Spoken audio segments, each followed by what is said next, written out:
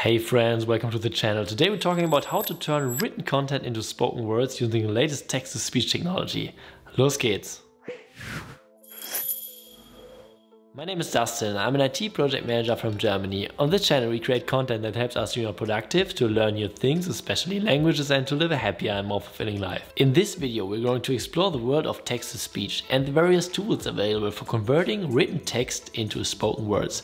We demonstrate the different options available for generating natural sounding speech from written text. To give you a better understanding of these tools we'll use a or part of a ChatGPT story that we created in one of our earlier videos as an example.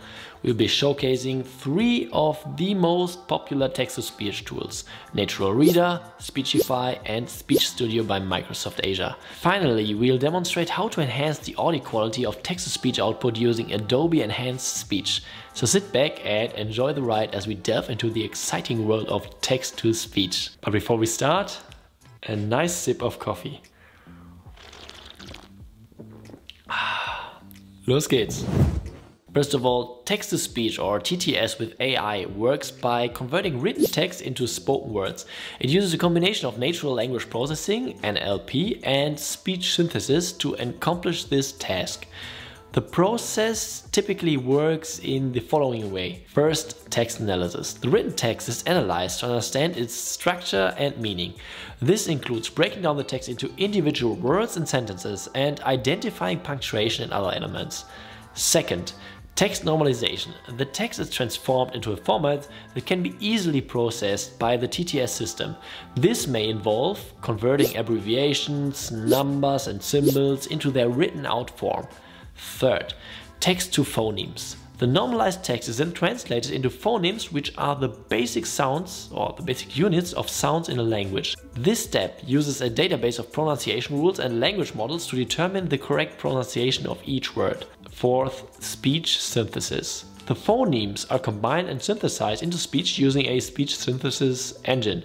And this engine may use concatenative synthesis, which stitches together recordings of individual sound, or formant synthesis, which generates speech using mathematical models. Whew, this one was complicated. Okay, five, audio output. The generated speech is outputted as either an audio file or played directly through the computer speakers. AI-powered TTS systems are constantly improving and evolving, but there's still room for improvement in terms of naturalness and expressiveness compared to human speech.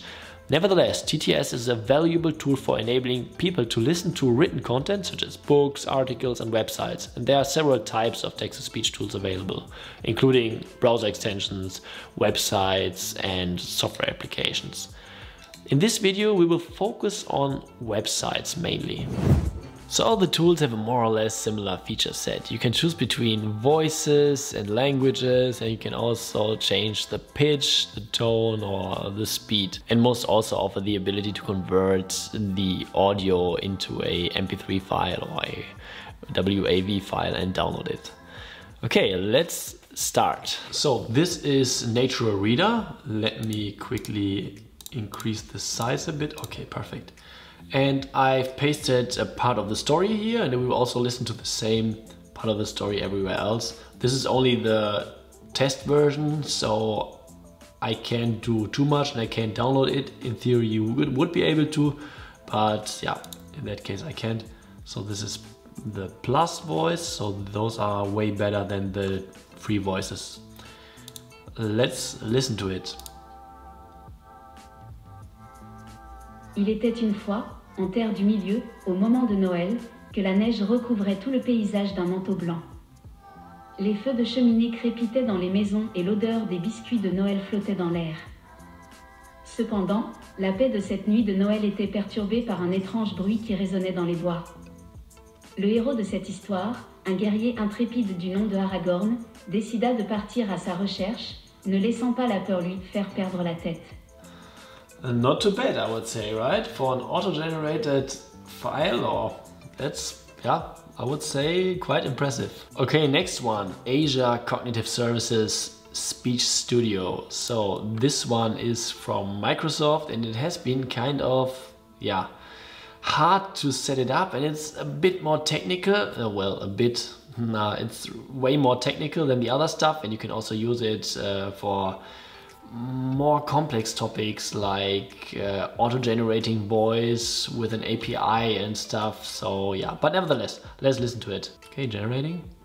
Il était une fois, en terre du milieu, au moment de Noël, que la neige recouvrait tout le paysage d'un manteau blanc. Les feux de cheminée crépitaient dans les maisons et l'odeur des biscuits de Noël flottait dans l'air.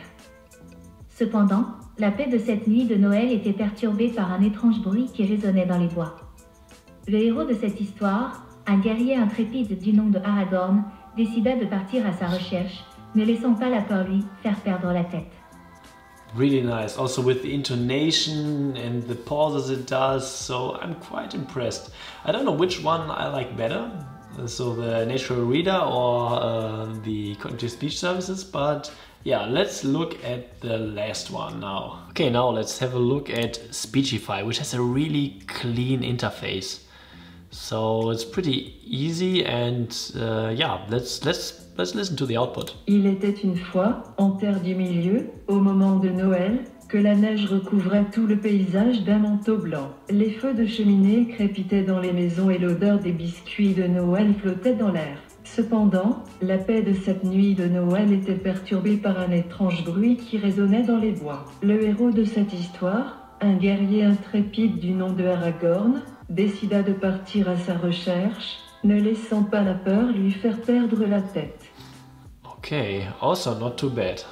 Good. Um, probably a bit more robotic than the other ones, but yeah, let's let's see. Ah, what else? Yeah, I've also chosen a, a premium voice, so you can also choose diff between different voices, and this one has been one of the more. Um, Le héros de cette histoire, oops, sorry, more of the premium ones. So here, Leia, for example, if you choose Thomas, this is one of the cheaper ones. guerrier du nom de Aragorn, décida de partir à sa recherche. and it sounds way more robotic, right? Okay, now let's listen to the first phrase or the first sentence with each tool immediately after each other. So we start with Natural Reader. Let's go. Il était une fois, en terre du milieu, au moment de Noël, que la neige recouvrait tout le paysage d'un manteau blanc. Okay, very nice. Dans Monton Blanc. Okay, Microsoft. Il était une fois, en terre du milieu, au moment de Noël, que la neige recouvrait tout le paysage d'un manteau blanc. Very nice. And now Speechify. Il était une fois, en terre du milieu, au moment de Noël, que la neige recouvrait tout le paysage d'un manteau blanc. Okay. Yeah, to be honest, I have to say, Speechify, at least in French, so probably other languages are different, is not as good as the other ones. So it doesn't sound as good. We can definitely debate between Natural Reader and Microsoft which one is better. I personally think the output of Microsoft has been uh, slightly better, but that's just my perception. Uh, and it's hard to set up. But yeah, I would say probably Microsoft Azure first. Second, um, Natural Reader, but I'm not completely sure. So probably, yeah, they could come in both at, this, at the same place because Microsoft is really hard to set up, and uh, Natural Reader has a way easier interface and is really just made for this whole text-to-speech stuff. But Speechify, yeah, I'm not, I'm not convinced. Uh, probably it's just the language. But yeah, I would really uh, like to know what you think. And now, last but not least, if you have an audio file which quality you want to improve, then I got something else for you, and it's called Adobe. How's it called? Adobe Podcast. It's part of Adobe Podcast, but it's the uh, speech enhancement. So here's an example. Let's listen to that. I'm in a conference room with the window open, and it's pretty echoey in here too. Not the best place to record audio. Yet with enhanced speech, all the background noise Can you can you hear that? So you have background noise and it's a bit distorted. And now let's listen to it with enhanced speech. noise and echo is gone, as if I recorded this in a professional studio. I'm in a conference room with the window open, and it's pretty echoey in here too. Not That's crazy, I think. How it filtered out everything and you don't need to do much. You just upload your file and you get back a file that's, yeah, clean. Okay, now let's upload the Microsoft file. So that's what I did. Okay, enhancing speech, still enhancing, and there it is. Let's try it first without enhanced speech. Il était une fois, en terre du milieu, au moment de Noël, Okay, now with enhanced speech. que la neige recouvrait tout le paysage d'un manteau blanc. Les feux de cheminée crépitaient dans les maisons et l'odeur des biscuits de Noël flottait dans l'air. Cependant, la paix de cette nuit de Noël était perturbée par un étrange bruit qui résonnait dans les bois. Le héros de cette histoire, un guerrier intrépide du nom de Aragorn, décida de partir à sa recherche, ne laissant pas la faire perdre la tête. Okay, it's a bit different. So they reduced the volume, that's for sure, and I think also they cut out the spikes of the, of the voice a bit. So they made it a bit smoother, but yeah, I mean, it's not a big difference, and I already thought that it would be like that. But nevertheless, a small improvement. If you have stuff or audio files that are more distorted, make sure to try out this tool. It's just a small bonus that I wanted to show you. Text to speech technology has come a long way and its capabilities are pretty impressive. Probably it doesn't replace a good human reader yet, but it will at some point, I guess. It offers us the possibility to quickly generate audio content from written text, which makes it an ideal tool for language learning. We can even enhance the quality of the audio output with audio enhancement tools like Adobe Enhancement Speech further. But then of course it depends on the quality that we put in. If the quality is already high, then the enhanced speech tool doesn't do very much. And with this technology, we can expand our learning capabilities and create more comprehensible and compelling input. Are you using text-to-speech tools to generate some audio files for learning? And if yes, what are your favorites? Or do you plan to use them in future? Further, if you like AI topics, I've already made a video about AI and language learning as well as ChatGPT and language learning. If you found the video useful, please leave me a like and a subscription to the channel and to not miss anything going forward, click on the notification bell. Thank you very much for watching and see you the next time.